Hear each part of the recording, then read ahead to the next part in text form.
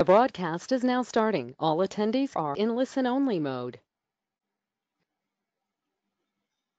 Hey everybody, welcome to uh, our newest edition of the Farmers Market Support Program's Farmers Market Matter Matters webinar series. Um, this is a project of Community Farm Alliance the, um, and the Farmers Market Support Program. Uh, for those of you watching this on YouTube after the fact, um, Community Farm Alliance is a grassroots organization in Kentucky uh, working towards um, providing uh, good community service and uh, support for farmers and the communities that support farmers uh, throughout the state.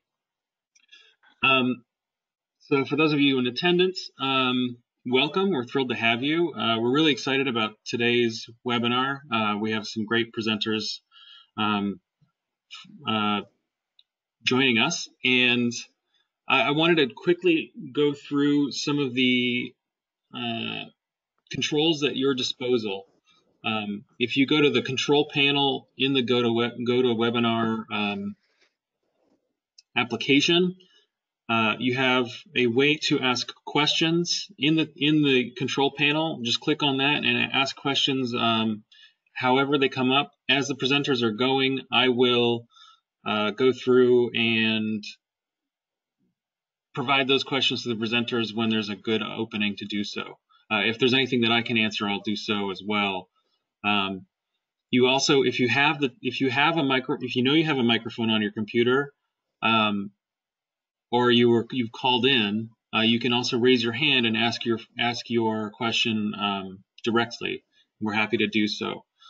Um, you have two handouts in the control panel that are the presentations that we will be going over today. So please take a look at those um, after the fact. They hopefully they, they will be useful to jog your memory of today's webinar.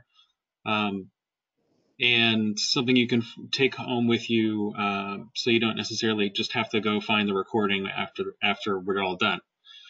Now that being said, this is being recorded and it will be uploaded to our YouTube um, Monday Market Matters channel. So keep an eye out for that. Um, and I think that's it. So today we have Sandi Curd from the Kentucky Highlands Investment Corporation and uh, Kristin Smith from Faulkner Bent Farms and the Wrigley Tap Room to talk about fundraising. Uh, they're both particularly skilled at it uh, and with the Whitley County uh, markets, um, and we're thrilled to have them. So uh, I think we're ready to go. Um, Sandi, I'm going to toss it to you. Okay. Alrighty, okay, folks. Uh, Sandi Curd here, and I'm just trying to see whether or not I can get my PowerPoint to show up without you guys reading my emails. Uh, let's see here, fundraising. Uh, come on, PowerPoint. And are I'm not seeing anything. Are you all seeing anything? Nope, not yet. Not yet. Okay, it's showing up at the bottom instead of opening up. What has gone? Oh, goodness. Do you want to try from your end to get it to pop up? Yeah, I can I can do that. Okay, do that. See if you can get it to While James is working technology um, magic, let's see, continue downloading. There we go. There we go. Fundraising PowerPoint. There we go. there we are. And now, do I need to hit slideshow or can you do that? Uh, you you you can do that. You'll need to enable. Um, okay. Click enable From editing the beginning. first. There we go. Oh, okay. There you go. I'm there. Does that work? Okay. All right, all right, guys. Apologies for that. Um, one of these days I'll catch up with the 21st century. So anyhow, I'm Sandi Curd. Um, I have a farm in Whitley County, uh, but I have to make a confession. I've got to be Kentucky's very worst uh, farmer. Uh, uh some of you may have heard of feral cats that come to live in your barn for 18 months had a feral heifer who lived on my farm. Uh, great story, love to tell you sometime, but uh, but anyhow, that just gives you an idea of uh, how inept I am. But anyhow, uh, as a as a farmer, I, I, was so excited when Whitley County got a farmers market. And so I went to that organization. I joined that organization as an associate member. I wasn't really in a position to sell at the market, but I wanted to be a part of the farmers market. Uh, from there, I was elected from the membership, to be the board of directors. I served in that position about a, a couple of years. Uh, and then uh, walked away from that role. But in that process of, of serving in that capacity, I came to a realization, and that is we can't rely on volunteers only to keep our farmers market thriving. Um, and the way I did my calculation is I'm like, you know what? We really need to have for a thriving farmers market, we need to have a full-time person uh, hired, paid a livable wage to make this work. Now, now, what would they be doing in this work? I thought, okay, well, they're not only just setting up the market because the farmers are too busy to do that, uh, but they're going after grants and they're running your double dollars program and and they're running your social media and your advertising campaign and they're coordinating other volunteers. Uh, have you ever volunteered for something and you got there and nobody told you what they wanted you to do and you felt kind of silly for being there? Well, You've got to eliminate that. Uh, they've got to coordinate uh, getting the market out to where the people are with mobile markets and creative ideas, um, and especially doing those types of things when a, a produce is abundance and uh, farmers need help uh, getting them to uh, new pockets of individuals. Um, but the, the most important part, I thought, of this full-time market manager was this idea that they were constantly working the farmer pipeline. And by that, I mean they were constantly working with the farmers that were selling to the market to get them to uh, look at ways to increase their profitability, to advance their business, to move it from the farmers market and keep moving up the economic ladder uh, to be a real economic powerhouse. And if you're doing that, and Whitley County has done that. It wasn't me, but Whitley County has done that, and Kristin is our prime example, and you'll hear from her in just a moment. But if you do that, then you're building economy using ag in your area. But the other part of the pipeline you've got to watch is the entry level. Where are you going to find those people who are just experimenting with growing vegetables and getting them involved and getting them coming into that so that you always have a flow of variety and uh, sustainability in your farmers market. And so part of me was like, yeah, man, but $30,000 a year. And I just, full confession here, we haven't made that in, in Whitley County yet. We're, but you know, that's the, that's the goal. Um, so why do I think that we need that level of detail in the farmer's market? Well, it has to do with our customers. And the reason why I say that is because the customers at the farmer's market, what do they have to compare to the market? They've got people that have been doing this for decades, like Kroger's and IGA and Food City. And Food City does this for them. And so they kind of expect, a, you know, they're willing to come to us uh, to be able to do that. They're willing to walk around and meet new farmers those types of things, but they certainly have a higher expectation of uh, of what uh, they're looking for in their markets. And uh, in order to get that customer base to to work for you, you know, you have to get as close to that as you uh, can. So all that said, I did the math, and to get this thirty thousand dollars, uh, we let's see, right now at the Whitley County Farmers Market membership, I think it's an annual rate of about fifty dollars. So I was going to have to find six hundred farmers to pay fifty dollars in order to be able to do this, and that's just not going to happen. And the flip side is, uh, I couldn't even figure out a way to get 50 farmers to pay $600. That's outside of their ability as well. So this is not going to happen. And then I started to realize what we're going to have to do is we're going to have to like piece this together like a um, uh, one of those uh, fancy quilts um, and to figure out ways that we can put it all together. And so um, we are now working on that. I want to share with you the things that we've gotten going so far and that which we hope to get in the future. So the first thing we did is we came up with a list of who cares that we have a market. And uh, and first of all, you've got your farmers, which you've probably already, you know, well identified, have a, uh, a, group with that. The second is your town, your city, or your tourism commission, those types of folks. Um, and you uh, have probably already met with your mayor and your city council uh, or your county group and talked to them about how you would really like to have their financial support for this. Uh, some of you may have been very successful in your county or your um, local government goes, yeah, we want to here have some cash. Others of you are probably getting the response back, uh, yeah, well, there's no money and those types of things. So I hope to be able to share with you a little bit about how to make that a better sell. Uh, the third one is your local foodies. And those are your people who are absolutely passionate about food. Uh, they are passionate about it coming from the local area, that it is healthier, that they know their farmers, they want to decrease the carbon footprint of how far food has to travel. These are your uh, passionate individuals uh, that are at your farmer's market, but they're not farmers. That's the category I fall in. The next category is your health organizations. That's your hospital, your health departments, your doctor's offices, anybody that is involved in trying to improve health.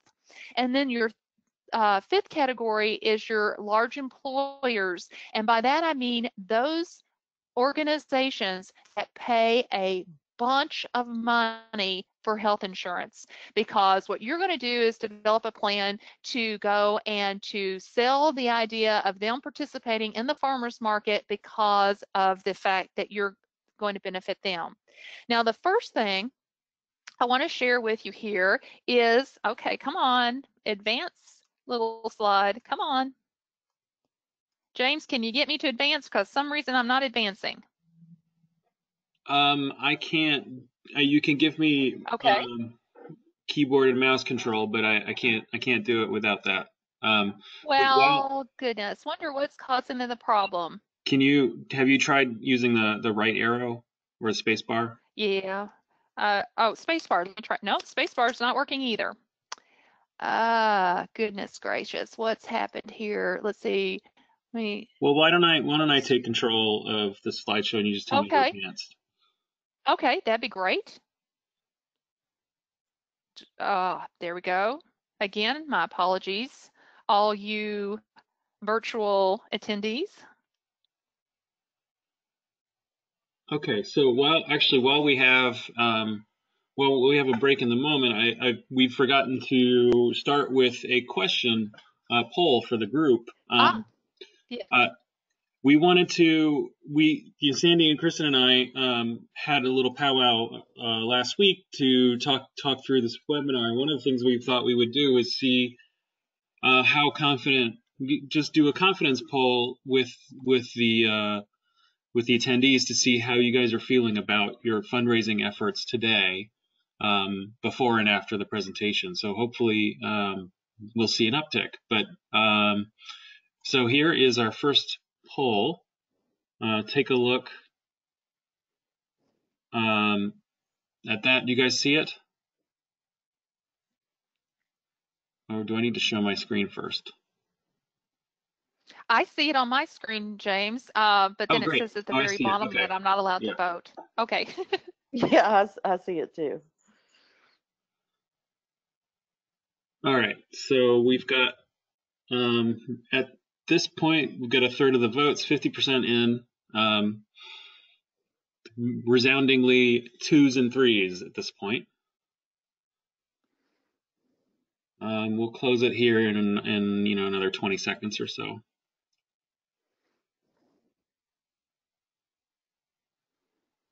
Okay.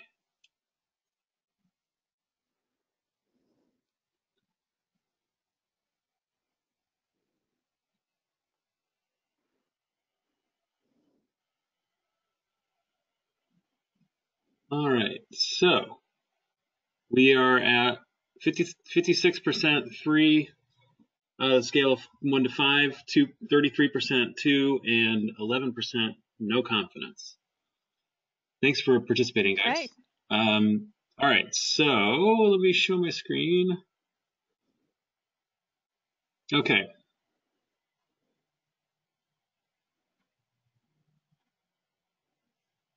Take it away, Sandy. Well, it's not showing up on my screen.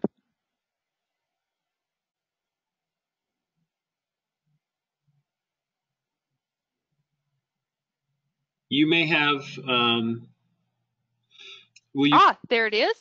yeah. There it is. Okay, that's perfect. That's exactly where I uh, was hoping that we could be. Okay. Great. Um, fantastic. So our farmers market in Whitley County was set up as a cooperative, and by that, it's a legal entity. Uh, it's a it's a great and very competent legal entity, but it's not the same as a nonprofit, which meant that if someone were to give a donation to the farmers market, that legal entity could not be able to give them back a receipt that said that their donation was going to a charitable activity and that they could deduct that from their taxes. So the first thing we needed to do was to come up with a nonprofit entity that could represent and help uh, the farmers market. And so using the model that I've seen in other organizations in which you have Friends of the Library, uh, we created the Friends of the Whitley County Farmers Market. And because we didn't have uh, about $1,500 to establish our own 501c3, we sought out a community foundation and created a fund through that community foundation. The one we chose is the 10-year-old uh, Foundation for Appalachian Kentucky based out of Hazard. Uh, but uh, you can see on your screen that Kentucky is blessed with several of these organizations uh, that can be approached to do this if you find yourself in that same situation. The beauty of this is just as soon as that fund is established, you are allowed to use their nonprofit status and their back room uh, which is their bookkeeping system and those types of things. And for a fee, at least for us, it was only 1%. For that fee, uh, they are able to provide the tax documentation that you need. I'm also allowed to go after grants, grants that say uh, nonprofit organizations need only apply. Uh, I can utilize the community foundation to be able to do that, and they in turn will be the fiscal agent and bring that money back.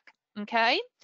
So where do you find these local foodies? Well, first of all, you're going to have to gather your crowd of them. And one of the best ways to find them is at your farmer's market. Start talking to your farmers and ask them who are people that are passionate, who do they see all the time. Set up your, uh, you've got your, uh, probably got your, um, market table, encourage them to come by, get their names, contact information, find out who is just absolutely passionate about local food. And it'll probably surprise you uh, with the number of individuals that come that are the age range. There seems to be no particular demographics group other than the fact that they're they're passionate. You create your fund or figure out a way to be able to make yourself into nonprofit, and then you raise money that you grant back to your market. So we've been doing this now uh, for, this is our, I think we've just started our third year of doing this. And so for the last two years, uh, we have put together kind of a modest approach of trying to raise some funds. Uh, we have had, uh, uh, we've taken over Kristin's restaurant uh, twice now. She has been extremely generous and if we fill place up with as many uh, of for our friends and family to just dine as they would be eating any other time, uh, she gives us a check for 15% of uh, gross profits of that day. And so that has raised uh, uh between $550 to about $490 for us uh, just for that event. And it's pretty easy on your volunteers. Uh, we have roasted corn on the cob at the market and sold it uh, to uh, folks that uh, are visiting that with the proceeds going into our group. Uh, we have, uh, we're going to be participating this year in the Kentucky Gives Day, uh, which means that we're going to again do a social media campaign and use our email to just tell people, hey, if you like having a farmer's market, you need to be a part of this. You need to help support it, you know, and, and so forth. Um, we had a farm to table dinner uh, it was a swanky dinner and it had, it was like $125 a plate and we had it for 24 individuals.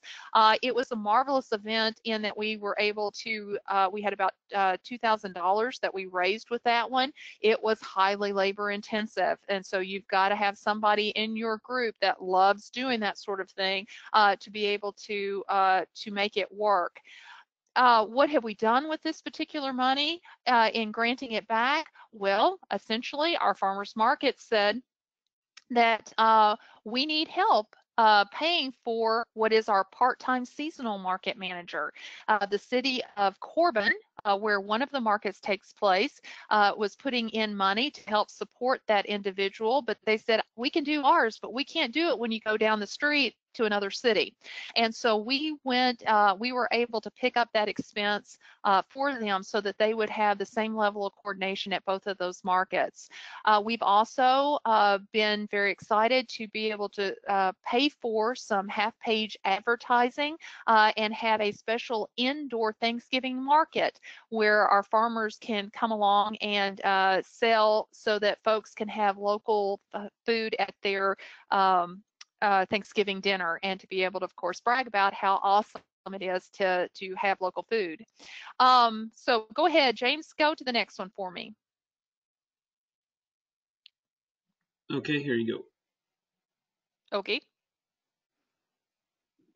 There's a there it goes. little, okay, all righty. So now, um, that's where we are. We, we've not, with the first Friends of the Market and with the support of the of the local municipalities, we have not reached that point where we can start to tap into the next two that I'm telling you about. Uh, and that is because that takes a lot of coordination. You cannot approach these places without having a, uh, a way to make sure that what you are going to provide for them you can provide. Right now on volunteer level uh, layers, we haven't been able to do that. But what we would do when we get ready to tap this is we're going to make a huge list of every hospital, every clinic, every provider, every health department, all of those make up this master list. And then we're going to ask them to not support the farmers market, not to sponsor the farmers market, but to partner with the farmers market. Okay.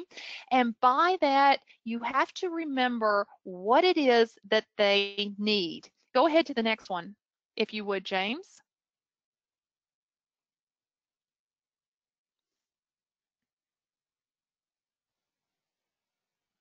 You got it?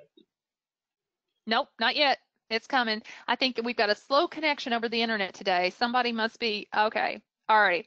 All right. So anyhow, going back to our healthcare organizations, um, what is it that they need? Well, there is tons and tons of clinical evidence that shows that eating uh, vegetables, eating more vegetables, eating more wholesome food is good for health indicators, good for health outcomes. And there's not any of these that aren't interested in that. They also need to be able to show that they're getting to a new group of people. So you're going to then go to them and say, listen, it's not about us at all. It's how I can help you.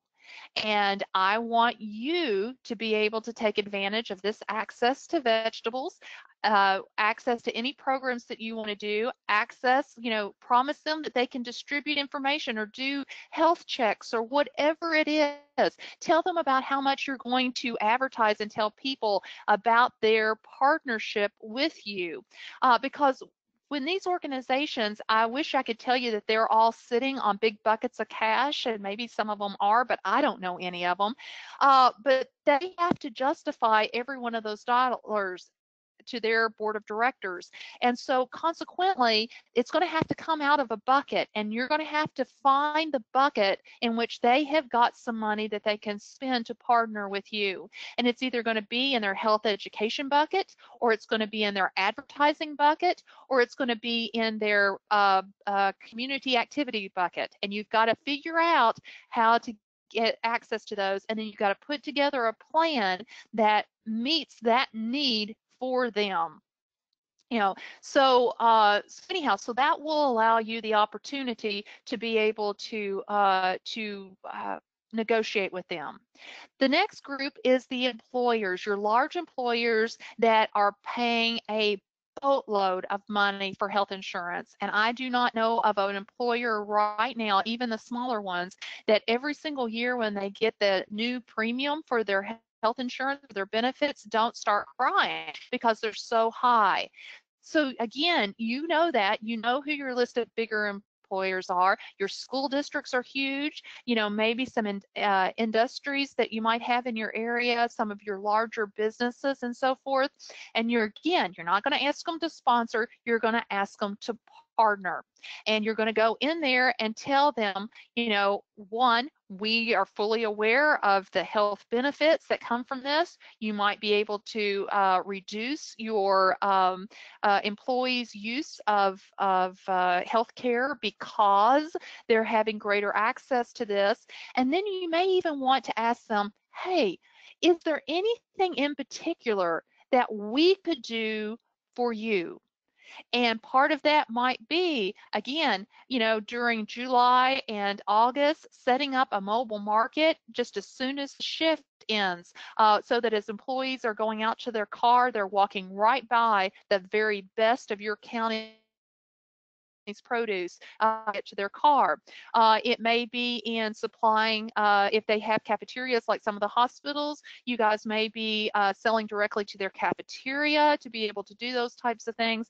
Um, and um, so, so those are the the how you're going to pitch this for these partnerships.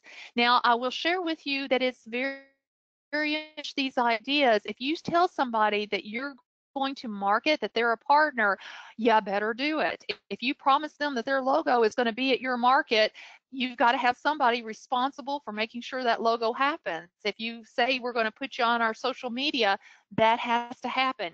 They can't afford to give you a check and you not be able to produce what you told them that they were supposed to get. So go ahead, James, and give me the next one. All right.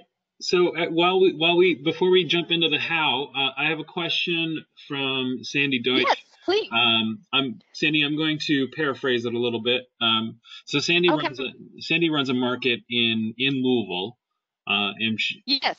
um, she's wondering if there are sort of exceptions to what you're you're talking about, or like maybe different, slightly different rules, or completely different rules for dealing with a more competitive market where there are you know 20 markets in the county.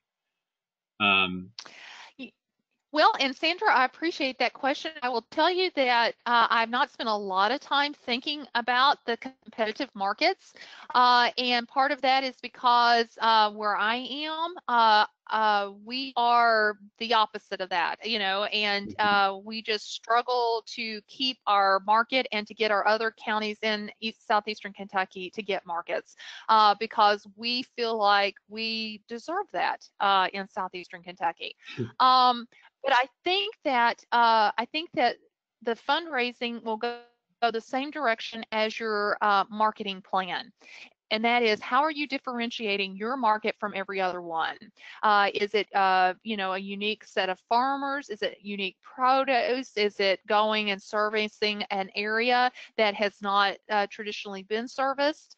Um, finding out what makes your market separate from the 22 others in the Louisville area, and then finding out who also values that. Uh, and I'm sure you're going to be able to find your local foodies uh, because they just gravitate towards uh, farmers markets anyway. And with that, you can ask them as well. So that's the best answer that I have, and I wish I had more information for you on that, Sandra.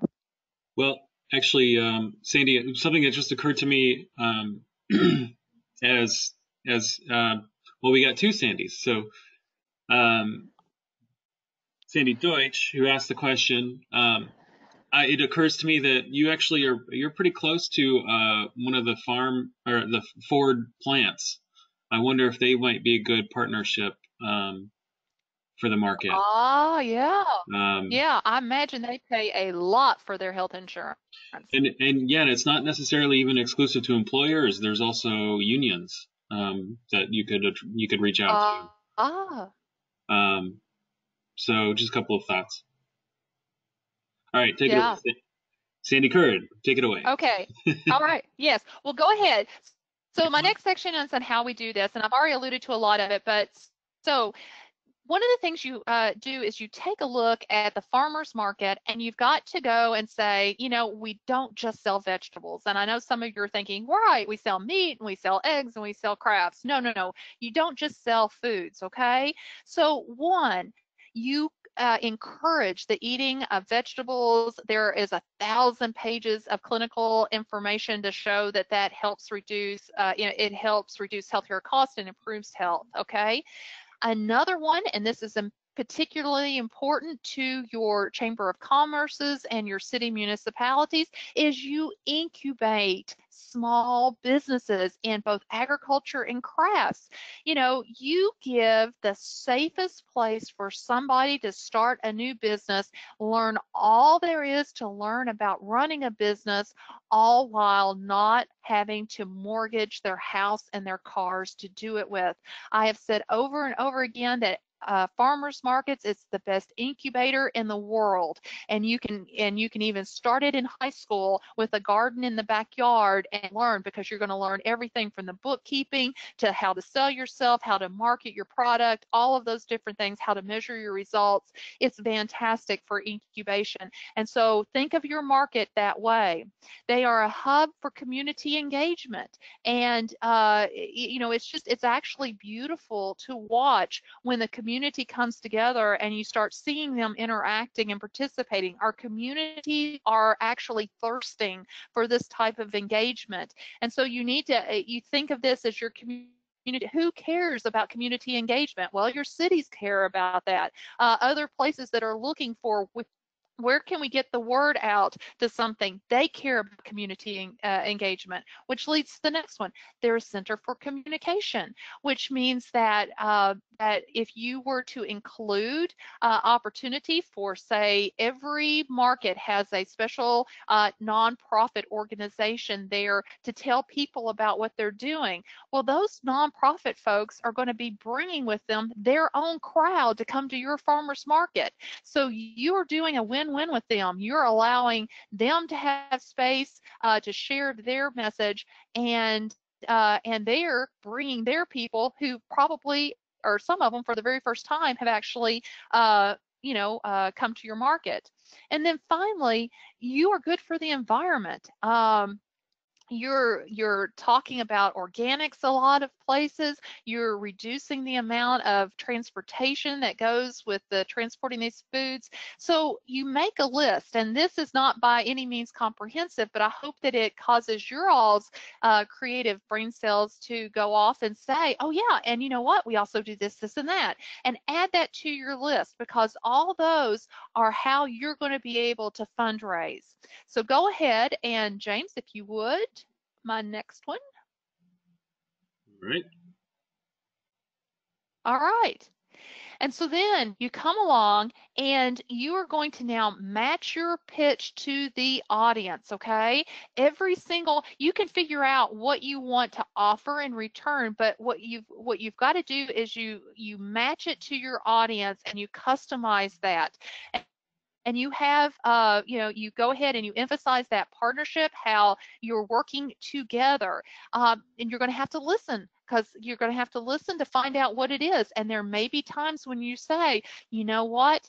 We'd really love to have a mobile market in your parking lot but we're just not there yet but if you will work with us we're hoping to do that. The most important thing on this wholesale list is the follow up and guys, if you think you're going to walk in and talk to people about this and they're going to say, yes, here's my check for $2,000 or $10,000, it's not happening. You're going to have to do it yeah, you're going to have to do it multiple times. Your first visit needs to be focused on information sharing and getting to know. Make sure you're talking to the right person, you know, taking that information. Then you do a thank you for that visit. Then you do a follow up visit. And then you keep doing this relationship. Year one, you may not be able to get an answer from them at all, but you need to let them know everybody that has agreed to partner with you. That can be the greatest thing in the world is just to send them a quick email. Hey guys, I know you all are still working on how you would like to be able to partner with the farmers market. Wanted to let you know that we were able to get Firestone on board and they're going to do this, this, and that. you know that's all you do and you just keep that follow up you never get angry when they say no you never let any ugly people get you upset you just keep working on it because that's what it takes to be able to do that and then finally uh, james i think i've got one more screen in here Yep.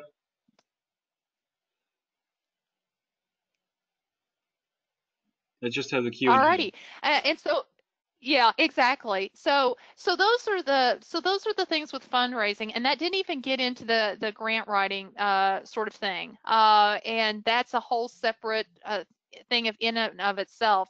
Um, what I hope with Friends of the Whitley Counties Market is that eventually I will have a, a, crowd of local foodies that is strong enough that we can raise in a year's time enough to be able to get a market manager who is, say, uh, not just seasonal. Uh, maybe it's a part-time market manager, uh, but it's uh, but it's still you know calendar to calendar, so that that market manager can work on some of these. Because right now I can't go to my local hospital and partner with them because I am not sure I have the capacity for being able to get them what they agreed to pay to pay for. Once I can get that Toho in, then my market manager then becomes uh, the best friend to the friends of the farmers market by being able if i go to them and say i've got this worked out with the hospital and so forth all you have to do is take this logo and do this this this and that and i can check it off uh, because i know that that market manager will follow through and that market manager is going to be our friend because they know we got we raised the money to grant it back to them. Um, and so uh, but anyhow that's our that's the fundraising plan. Uh, again i hope our little um, foray into uh, some ideas here are useful. And um, I know Kristin has some additions to add to this, and uh, I'm online and would be happy if anybody wants to reach me after this presentation by email. You know come you go right ahead because I, I i just love to share this. I, think we all deserve farmers markets and we have to all pull together to make it happen. Awesome. Thank you Sandi so much. Um, so I, would like to just sort of offer up the opportunity for questions um, for Sandi now um, while we work out the technical side of things to get uh, Kristin sorted out. So please feel free to submit them through the questions box or even raise your hand um, if you have a microphone, and we can um, see if we can answer some of them. Um, in the meantime, Kristin, I'm gonna. Kristin, would you like me to to run the slideshow for you, or are you good with it? I, I let me try it from my end if that's possible. Okay. Yeah, we'll see how that goes. Yeah. All right. I'm gonna send. I'm sending it to you now.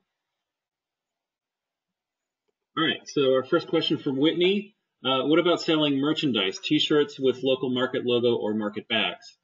Have you guys done that? Uh, well, we actually have, uh, but we we have to be very careful. The farmers market, uh, the Whitley County Farmers Market Co-op has been doing T-shirts since its inception. And so as the friends of the market, we don't want to compete with them. Uh, and so consequently, we went looking for products that they did not sell and we we actually created our own logo uh, which is the cutest little thing. I should have included it in my presentation but it's like these little hands that are holding on to a shopping bag full of groceries called friends of the market. Uh, but uh, but anyhow we came up with a tote bag uh, that is uh, easy you know we had talked to a number of people that like to go to the farmers market and said what type of tote bag works best for you? And it was one that had like a narrow width uh, and then fit nicely under arm. So we've done that. We have done some uh, bumper stickers uh, so that folks can say, I'm a local foodie, I'm a friend of the farmer's market.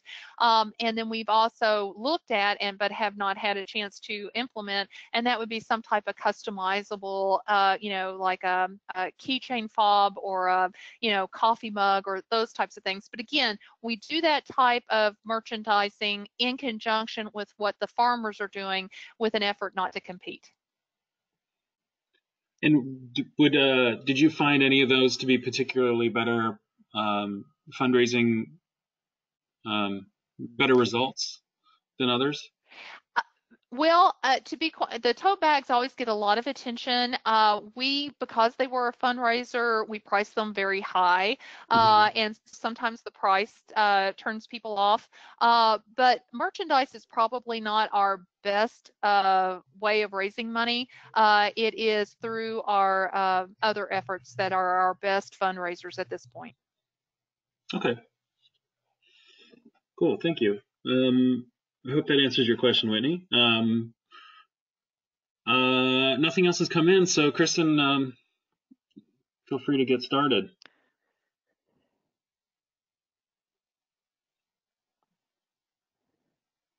Okay.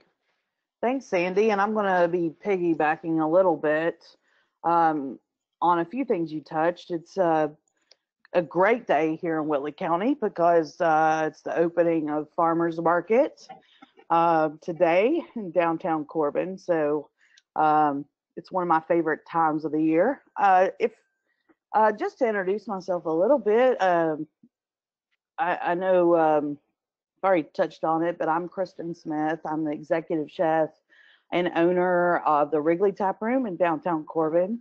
Uh, we are a farm to table restaurant, um, and that's because I am first and foremost a farmer of uh, Faulkner Bent Farm. I'm sixth generation cattle farmer, hog farmer, um, and I love growing heirloom tomatoes and peppers and garlic. Um, I really got um, a real taste of it when I was doing grad work out in San Francisco um, and got to see how Alice Waters, who's a, a very well known restaurateur, um, partnered with the farmers markets in Northern California and really started a revolution, which I think mm-hmm. has touched us here. Um, and so when I had the opportunity to come back home and take um, our my family farm over, I was trying to figure out how to tap in um, to doing our farm more sustainably uh, in the these present years, and and it led me to uh, to selling food at the market because I had to get uh, beef and pork in people's mouths. Um, and it, it, kind of went in that direction. Uh, I was a market vendor for five years. I was a founding member of the farmers market. And then I, I for a stint, worked at the extension service as the horticulture specialist um, and basically ran the farmers market for a year and a half. So I know some of the struggles um, as a vendor and as a manager. Um, and then um, I would like to say that um, I am I am one of those success stories of uh, a farmers market incubation, small business um, that grew out of the farmers market and went to brick and mortar uh, at the Wrigley Tap Room, and that's why it's a core mission of ours that we are a farm to table restaurant and over 50% of our sourced items comes from local farms in a 100 mile radius. Um, in farmers markets, you know, I didn't realize this until I became a brick and mortar um, business on Main Street, which is amongst many other businesses. That farmers market is very similar to that. And it's a crazy situation that we put ourselves in as vendors and as a market manager, trying to manage multiple businesses under a little roof or tents um, and to keep the peace and to allow everyone to be successful. Um, because, like Sandi mentioned, people are used to shopping at Walmart and Aldi's and Kroger for their groceries. And so they're used to merchandising. They're used to things being in the same position. They're used to things being marketed in a very um, convenient way. And so we some we have to find the middle, um, and we have to keep the peace. Uh, we have to make sure everyone's sales are you know going well, um, and we all want to succeed. Um, and so that mission in itself is crazy because at at the level of uh, being a brick and mortar, and trying to keep the peace and being great neighbors and merchants together and thriving in a downtown setting um, as merchants is, is just as crazy. So um, give yourself give yourself um, some slack there because your mission is, a difficult one, but keep going. keep going hard. Um, I just wanted to cover something. I was talking to uh, actually Friends of the Market volunteer a few weeks ago, we were talking about what it takes to run a market um, and and looking at it as a business, which is is really important. You want to have you really want to start off with a market operating um, or operation budget. Okay, so I I wrote one down, just scribbled one on a, an old invoice actually on the left, um, and this this um, these line items um, really represent not a full-time market manager at the top at 3000 that's to, at a $10 an hour rate for 10 um, hours a week for seven months okay? So that's kind of bare minimum um, and i think Sandi and i agree on that but that's not a thriving market right? A thriving market needs a full-time manager. But some of some of you you know struggle with keeping the same manager every year right um, so this is just a mock-up to give you an example of what an operating um, budget might look like. And if you don't have one, you need to get one or just have an idea of one. Um, in Whitley County, uh, for seven months out of the year, um, it would run you around $2,000 for radio. And this is under the stem of marketing, okay? Because marketing is one of your most important things. It has to, you have to keep people um, in mind of, um, at top of mind for your market every week. Um, $1,000 for social media. Uh, and that's where probably you spend most of your money, I hope, um, because I think you get the most bang for your buck in social media. Uh, $2,500 for branding. Um, and the good thing about branding is you don't have to rebrand every year. You've got to start with a great brand though, right? And I know some of you, some of the markets out there have really great branding. Um, I think t-shirts are actually better for branding um, and top of mind marketing than it really is for fundraising. But it, it, the good thing is it can do both. Events, to me, in my experience, are really important to get big snaps or big pops at the market for when when corn comes in, like uh, the Friends of the Market does the taste of the market with the corn. Um, also, we did jam uh, festivals. Um, any any event that gets people there and then your pos snap you know that good thing about that is that's usually just once uh, a one-time fee um, and maybe a little maintenance but this is just a mock-up i rounded it up to 10000 that's 1428 a month um, at seven months now the reason i did that was so that you know um, in your situation what it would take to fulfill that need. Okay. And it's uh, some of you are thinking $10,000. How am I going to raise that much money? Or as Sandi said, $30,000. How do we raise $30,000 a year? I mean, that's crazy sounding, right?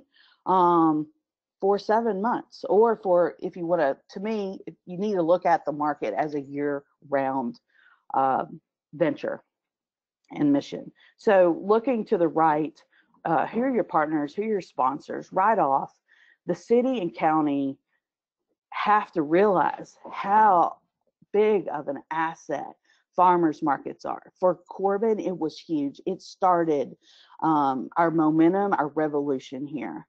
And and I think it's happening all over the state, right?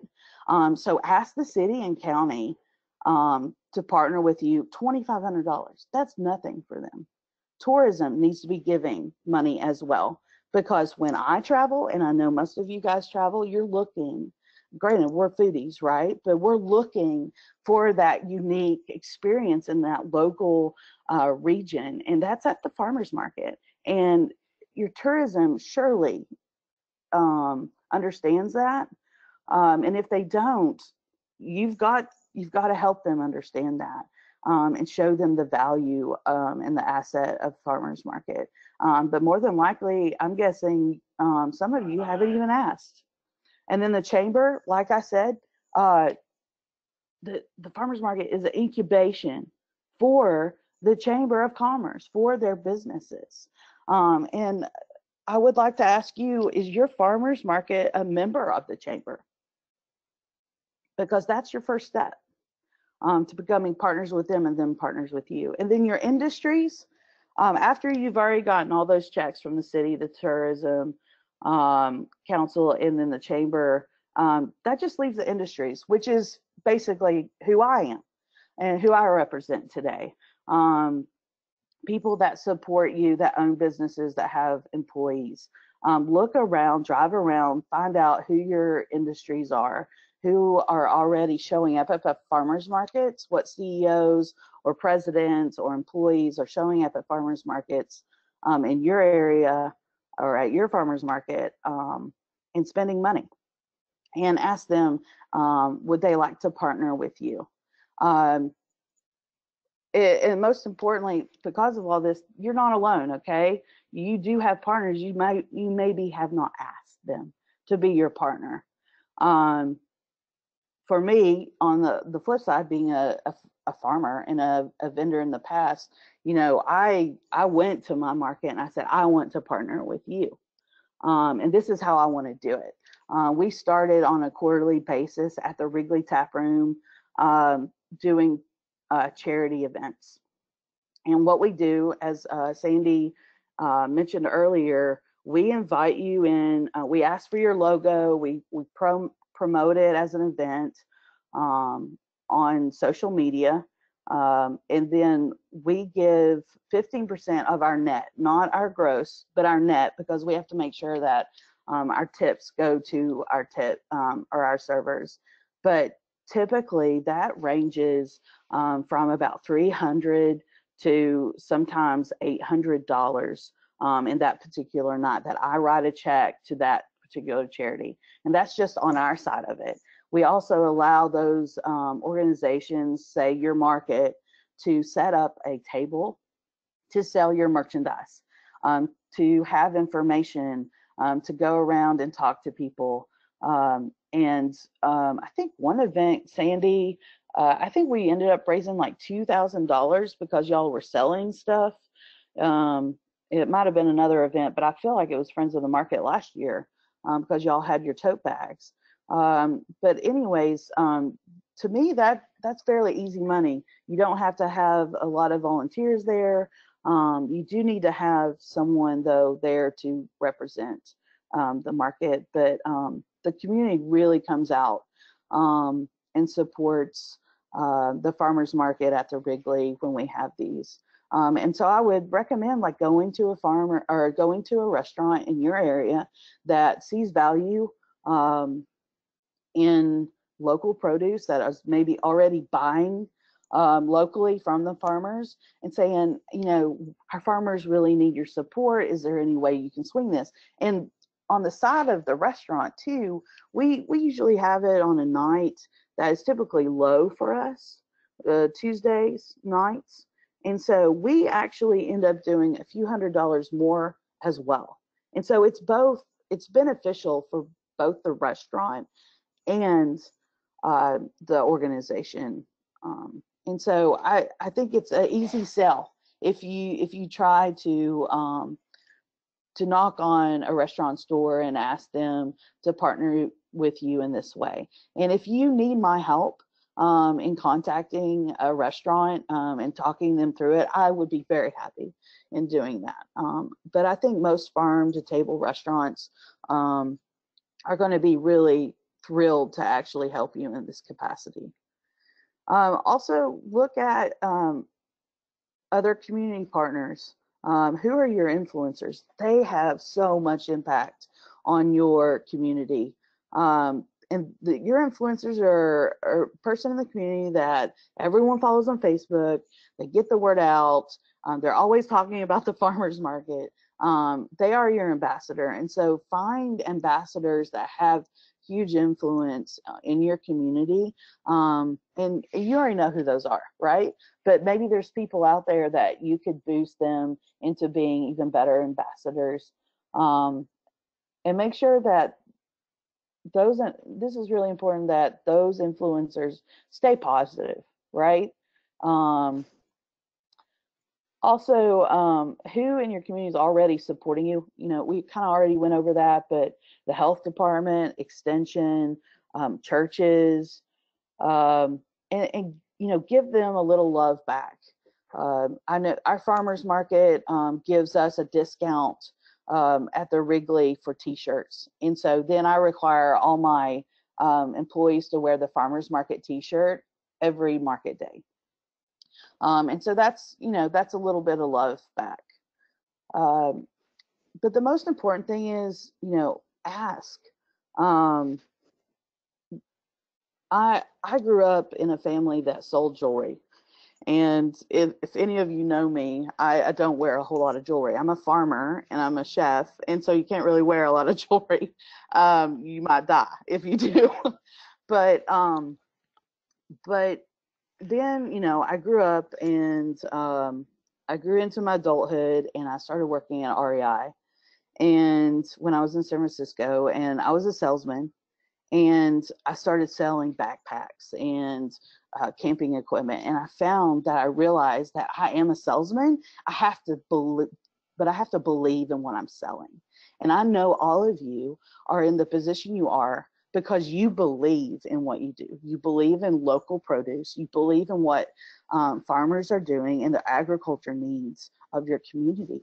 And so, to me, don't feel like you're always you're asking all these partners and these sponsors and you're uncomfortable about it. Don't feel like you're asking it because you're like this sleazy salesman, because you're not. Because what you're doing is making a difference. And so it's easier when you believe in it to ask for it, right? Um, so don't be afraid because what you're doing is changing lives and it's changing your community. And that's all I have. If you have an email, um, if you would like to email me on any questions um, further from this, um, you can hit reach me at faulknerbentfarm at gmail.com. Uh, but um, James, I can open up to questions or uh, we can go any direction. Great. So um, I've got I've got. I, I think that was a beautiful way to end it. Thank you, thank you, Kristin. Um, yeah. One thing that comes to mind is something that my mother used to tell me growing up was that you have to wiggle the doorknob to see if it's locked. um, and I, I've kept that for a really long time. You you have to ask the question before you know before you decide before you find out what the answer is. So, um, don't be afraid to just sort of out of the blue approach folks. Um, and you know what? Um, another is inevitable in this. Yeah. Well, and I will say one more thing. Um, my my pap, he he said, you know, you got to know the ABCs of of selling, right? And it's always be closing. Mm-hmm. And so, just like what Sandi said, you kind of have to maybe go back and back and back, but always be asking, not if you want an egg, but how many eggs do you want?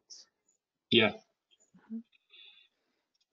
We're yeah. So um, one way to frame it would be we're hold, we're hosting this fundraiser. How would you like to be involved in it? Absolutely. Um, so uh, Susan from from the Bowling Green uh, area is asking when slash what way is the best way to contact the restaurants. Don't want to interrupt business uh, would email contact be okay to set up a meeting? I think this is an Absolutely. excellent question for you, Kristin. yes, and that's a very, very important question because nothing pisses us off more when people uh, want our attention when we're, you know, flaming something on the grill and can we got to watch, you know, our eyebrows. So, um, so yeah, so busy time, you know, the best time uh, is in the mornings um, before really before 10 10.30 or um, between your um, lunch and dinner crowds usually between 2 and 4 um, email's a great st- kicking off um, step but you might have to follow through with that. Um, the best thing is is definitely um, email to give a preemptive like i'm coming after you kind of thing. Um, and then show up because they need a face you know they need um and, and i would wear your market t-shirt or what you're about you know like whatever you know eat local um to so that they see you know that you're approachable and and that you're on the same team. Um, and and always, you know, kind of be like, I don't know if this is a good time, but I'd love to set up a time, you know, but be be um, insistent on it because um, Sandi's really great at that. But um, and it, it's if they put you off, don't, that doesn't mean they don't want to talk to you. That just means they have fifty thousand things running through their head. hmm Um, and just don't feel like um, you you can't go back and back. I know it takes a little bit more extra effort, but but uh, stay on top of it. Yeah, uh, and stay positive too. Yeah, Um, yeah, absolutely. there's there's definitely an element of salesmanship to this that that is really useful to know. And some of the some of the basic rules are just to always stay positive, don't use negative language, always assume the sale, and keep keep your pitch simple. Um, so don't it you know utilize if if you feel like you have said everything, utilize the awkward silence that may come from that. because somebody's going to fill the space and you don't need to do that. Um, but uh, I think I hope that's helpful. I, yeah, I my general experience with restaurants is uh, a, a heads up email or an effort, an initial contact through email or maybe a phone call during the off hours. Two to four is a great window. Um, usually that's when salesmen, that's when you know wine salesmen are coming out. That's when um, Sysco, if you're using Sysco, that, that, for with restaurants, that's that's when the main distributor Mhm. contacts are coming to coming to visit um, because they they know that that's the the best time to to have an actual sit down meeting. Um, you also know that that's when the the interviews happen if you're working at one. Um, so uh, I think an, an heads up email and then don't don't don't even expect a response, but just know that you've given them the heads up that you're coming. Um, because the, the restaurant life is a is a hectic one, um, and you know that doesn't it the core email correspondence isn't typically a strength of restaurateurs. So no, unfortunately not. I, I wouldn't I wouldn't I wouldn't do anything. Um, I wouldn't read too far into silence there. Um, so if um, yeah, that we have we still have well we're running we're about at an hour now. So um, please shoot some questions in if you guys have any. Um, I'm gonna throw out Yep. this poll, the second Yeah. poll, to see how you guys feel. Um, would love to see that. Uh, and while while we're going through that, um, I would love to hear, or I'd love to kind of mention a couple of things that CFA is doing right now. Um, we have um, we have a marketing mini grant that's coming out in the in the near future. Uh, we've budgeted. We have uh, fifteen thousand dollars that through our FMPP grant to for paid media. Um, we're splitting that out, so we're going to target.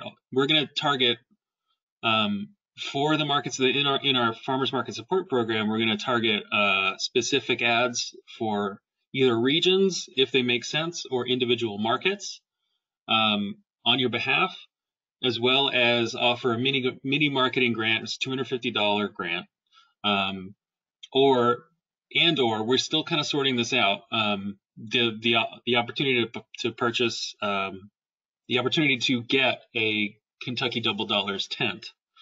Um, they're really nice uh, tents, uh, and we've gotten a lot of positive feedback from the markets that we've been able to give them to. Um, so we're going to offer that again this year. So the $250 um, mini marketing grant is for um, is for paid media. Um, so it can be signage, it can be it can be your own Facebook ads or Instagram ads, um, or it can be um, those are the things that are coming to mind in the moment. But I'm drawing a blank otherwise. But um, we have a couple of other ideas, and we're, we're happy to to work with you to to kind of come up with it. But we've budgeted about 27 um, mini marketing grants for the for this year. So those keep an eye out for those. Um, also, we are um, for those of you that have been involved with or been in, in tune with what's been going on with the home-based processing um, legislative efforts, um, we are sending out a, a thank you letter to uh, Representative Heath and Senator Hornback um, at the end of the week, and we're asking folks, uh, we're offering the opportunity for folks to co-sign that letter. Um, you can see that through our Facebook group or in our Google group. You, if if you received any of these invites, you should have you should be uh, for the webinar today. You, sh- you should have you should have also seen those emails. But please feel free to email me if you um, if you would like more information. My name my my email is james at cfaky.org. Um, let's see what else what else what else am I forgetting? Um, there is a there's also a growing food security um, funding opportunity for Eastern Kentucky markets. Um, you should also be able to see more details about that through our Google group and Facebook group. Uh, so take a look take a look at those. Um, I I've I was I saw that last night, but I haven't seen much more about the the information behind it. So please feel free to go find it there. Um, and I think we're done here. So we've got 55% voted. Um, I'm gonna close, and so um, improvement. So we got a, much more, a lot more very confident folks this time around. So that's great news. Um, thanks everyone for for um, participating. So one of the comments, uh, one of the last questions before we get going, um, Suzanne Stumbo out of Pikeville is mentioning, is saying that this is hard because leadership turns over so quickly. Um, and that is a, that is a challenge. Um, and I'm, I'm, wondering, you know, Whitley's had some stability challenges. Um, Indeed. Yes. So I'd love for it, I'd love to hear what you guys have to say about it. Like, how do you how do you well, overcome think, that? Yeah, I think one of the advantages is you have the separate organization that deals with the fundraising uh, because the Friends has stability, um, and uh, you know, and and that it doesn't have that accordion nature with it, um, and so um, you know, uh, but you still have to you still have to remain in communications with your farmers uh, and their organization, uh, or else that you know uh, you'll be working against each other instead of with each other. Uh, but that's one of the that that's uh, lack of stability is one of the things that I think uh, having a an alternate uh, organization can help create some of the stability that you need when it comes to fundraising. Mm-hmm. And I will say that you know there's there's a um, some of the some of the I don't know what the word is. Uh, some of the challenges that Whitley Whitley endured over the last um, few years is, and the way we, you guys have come out of it um, is really sort of a a proof of the resiliency of your community, which is really great to see. Um, and um, sometimes that that doesn't show up until until markets are at a crossroads of some sort. Um, and I think Pikeville is a great example of a market that that would show its resiliency when it when it needs it. Um, and I, I I've been really impressed with what I've seen there. So um, so I I think Suzanne, I think that one of the best things you can do is just have a good plan and um, make sure make sure that you are um, offering the opportunity to as many people as, as you can to help um, and support the market. Yeah, just different philosophies. Yes. Yep. The, that's that's something that we all deal with. Um, uh, it doesn't matter if rural or urban. There's just a lot of um, there are a lot of people who see the world in, different ways, and you, you kind of have to find the way that that uh, that that appeals to as many as, of them as possible. Um, okay, so I, am not seeing any other questions. Anybody else have any questions? Please send them out. Uh, otherwise, we're going to wrap up here in the next few minutes. Um, can you you guys have done fundraising? I know that I'm sad I'm sad to see that uh, I've got I'm not familiar with. I think maybe some of the markets on here have done farm to table fundraisers before, uh, and they've they've taken all sorts of shapes. Um, and I thought um, you so you know with with Kristin with your um, brick and mortar location, it, it's awfully convenient to just sort of go right there. Um, Yeah. Have you prior to your restaurant? Did you have did you guys ever do uh, fundraising, uh, in sort of an open air effort, or can you speak to? Yes, I've done a few of those. Um, they definitely are more tra- challenging, Mhm, more challenging, um, but they feed to more of the encompassing mission of agriculture, you know, seeing mhm, why it uh, is so important to maybe have a farm to table charity event um, on a farm. Um, but you know the problem with that is you have to you have to um, have staff. You have you know it takes a lot of staffing, so you have to have servers. You have to have um, your kitchen crew, um, and then you have to basic. I mean, it's basically like a dinner farmers market because you have to pack Yeah. up everything and take it out there. Um, the food isn't going to be as fresh because it's on sternos, mhm. um, but it can be done, and it it's a there's a pros and cons to both of them. Um, brick and mortar allows it to happen any time of the year, not worrying about weather. Um, but I mean, there's definitely for me a little bit more anxiety doing it in open air. But if you can get this the right moment, it is super magical. Mhm.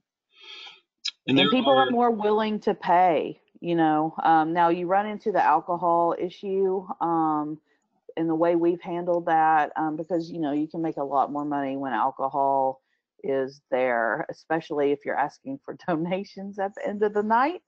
Um, and which I always recommend.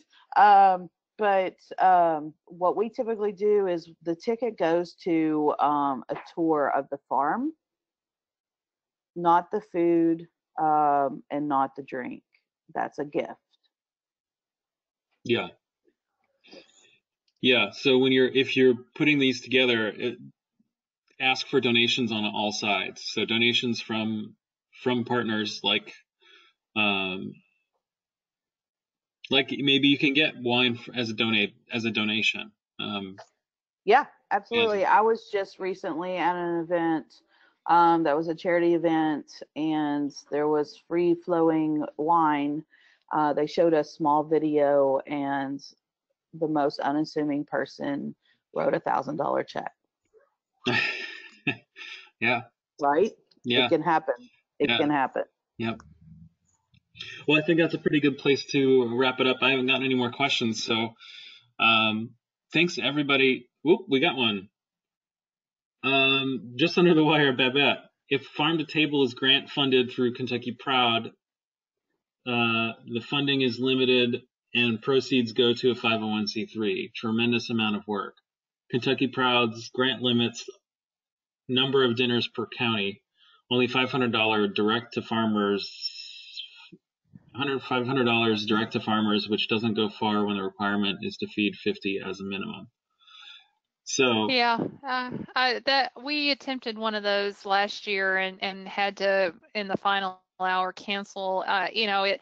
I mean, it, it's a great program, but the the state is so desperate that it not get abused that it. I mean, you really you got to know what you're doing before you do it. Um, Mm. and I mean, and it's not that you sell 50 tickets; it's that you have 50 people on site and that you document that.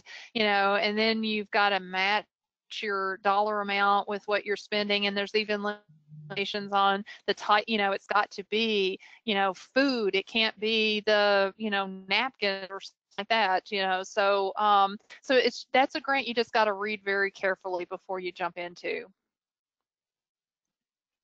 yeah. And 50 guests, uh, I mean, that's, that's a lot of work.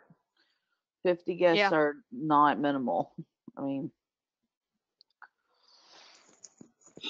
Um, yeah, and Babette is doing two of them. Uh, she just wrote wrote in. Um, awesome. Fantastic. Yeah. and she's involved in two others, but those those are dependent. So there's a there's a new uh, farmers market site being built at the Marksbury Market. uh, Okay. Oh yeah. Lexington. Sure. uh, and they're gonna do they're gonna do some stuff there. Um, and Babette's been on the front lines of that for for some time now. So um, Well, if there's any nugget of gold I could give you on an event like that, it would be lighting. You can't have Mm. enough lighting. up, up lighting, down lighting, Well- candlelight. No, no. Uh, production light. Uh, just. Uh, uh, do you mind if I share the story, Kristin? Or Go ahead. Go ahead. Okay, so for our our one farm to table dinner, that was, I mean, it was it was swanky, it was beautiful, and Kristin was our celebrity chef, and um and we didn't realize how dark it got in November, and here she was trying to sear these little lamb lollipops, and she was outside trying to do it by the flashlight in her uh, iPhone uh, because we'd forgotten that she needed light to be able to see how to grill. and but she did it. Let me tell you what, she is a professional. She pulled it off. Well, thank you. But yeah, I mean, and also lighting just, I mean, ambiance is everything, right? Mm-hmm. Yeah. But I'm going to have to get off here and Yeah. jump to another meeting. Fantastic uh, little webinar. Thank you, James. And thank you, James. I appreciate the opportunity. Yeah, thanks everyone for thanks for everyone for joining. Um, when I close this up, you will be prompted for a survey. Please let us know how you felt this survey this webinar went. Um, it's helpful for us for our grant reporting as well as um, uh, just sort of to make sure that we're make we're addressing things that are of use to farmers markets in Kentucky. So um, thank you so much everyone for coming out. We really appreciate you uh, taking the time to be with us tonight to this afternoon and um, thanks um, we'll we'll we'll we'll be in touch about our next uh, webinar. Uh, we have one coming up soon that will be just about crowd counting.